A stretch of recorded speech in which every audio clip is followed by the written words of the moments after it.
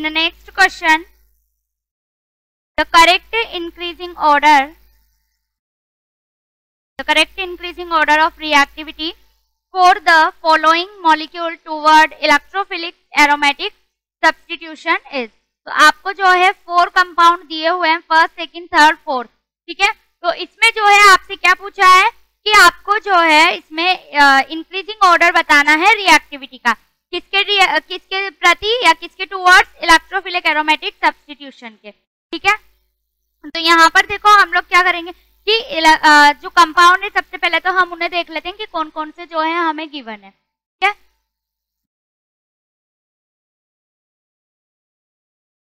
सबसे पहले जो है आपको दिया हुआ है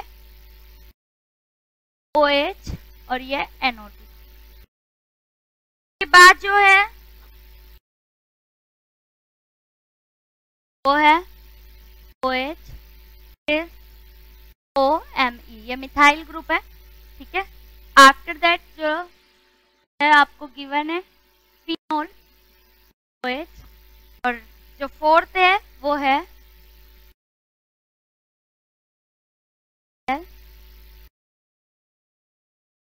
तो ये है आपके फ़र्स्ट ये second will be third sorry this third and this is ठीक है?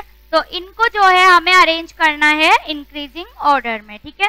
तो इंक्रीजिंग ऑर्डर में अरेंज करना है तो देखो यहाँ पर जो है सबसे पहले जो होगा वो है, सबसे पहले देखो अब इंक्रीजिंग ऑर्डर यानी कि इलेक्ट्रोफाइल के टू वर्ड्स जो है, इन सबसे ज़्यादा तो रिएक्टिविटी होगी वो क्या, किसकी होगी? तो यहाँ पर देखो फ़र्स्ट जो आपको गिवन है, उसमें अगर हम देखें तो वहाँ पर जो है फ़र्स्ट वाले में अगर हम देखेंगे तो हमें यहाँ पे पता चल रहा है कि NO2 ग्रुप है। तो NO2 ग्रुप में जो है, ये ग्रुप कैसा होता है? इलेक्ट्रॉन विड्रोइंग ग्रुप है। तो इलेक्ट्रॉन्स को क्या करेगा? विड्रॉ करेगा। यानी कि रिंग्स के इलेक्ट्रॉन्स को ये क्या करेगा? खींचेगा।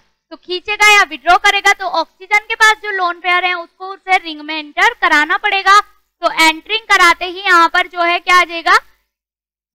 NO2 खींच रहा है और वो एंटर करा रहा है। ठीक है? तो यहाँ पर जो है NO2 के खींचने की वजह से वो एंटर करा देगा तो नेगेटिव चार्ज आ जाएगा। ठीक है? इसके बाद देखो, अब इसकी बात करें हम तो यहाँ पर जो है ये, इस पर जो है लोन पेयर और इस पर भी लोन पेयर तो ये भी इलेक्ट्रॉन डोनेटिंग ग्रुप है ये। ओ ऑक्सीजन जो है ओ एम ई तो इलेक्ट्रॉन डोनेट करेगा तो जब ये डोनेट कर देगा तो इसे तो रिक्वायरमेंट ही नहीं हुई तो और जो रिंग है रिंग की ऑर्थो और पेरा पोजिशन पर जो है, कौन सा चार्ज आ जाएगा? पैरा पैरा और ऑर्थो पोजिशन पर कौन सा चार्ज आएगा? इस पर आ जाएगा नेगेटिव चार्ज तो नेगेटिव चार्ज आएगा तो इलेक्ट्रोफाइल का अटैक क्या होगा? ज़्यादा इजिली होगा।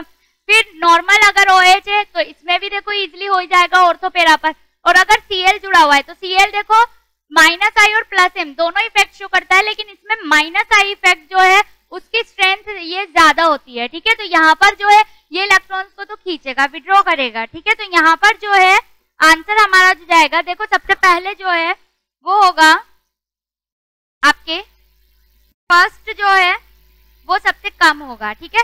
सबसे ज़्यादा होगा सेकंड ठीक है ना? तो सेकंड वाले को हम लिखते हैं तो इंक्रीजिंग ऑर्डर हमें लिखना है तो हम इंक्रीजिंग ऑर्डर में ही जमाते हैं पहले से।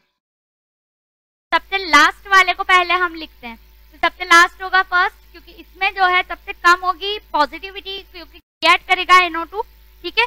इसके बाद आपके होगा फोर्थ थोड़ा ज़्यादा होगा बिकॉज़ वो प्लस एम इफ़ेक्ट भी शो करेगा। लास्ट फिर आपके होगा थर्ड एंड सबसे ज़्यादा हो जाएगा सेकंड वाले का। ठीक है? तो यहाँ पर जो है इंक्रीजिंग ऑर्डर आपको ये देखने को इसमें मिलेगा। ठीक है?